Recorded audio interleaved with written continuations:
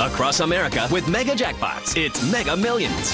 Happy New Year, America. I'm John Crow. It's Friday, January 1st, and tonight's Mega Millions jackpot is an estimated annuitized $130 million. To win that jackpot, you must match these five white balls plus that gold mega ball. Now, let's see if I can make you a millionaire tonight. Our first winning number tonight is 18. That's followed by 37. Up next, we have 39.